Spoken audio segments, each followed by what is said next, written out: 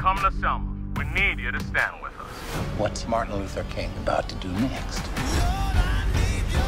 They're gonna ruin me so they can ruin this movement. Eyes on the prize.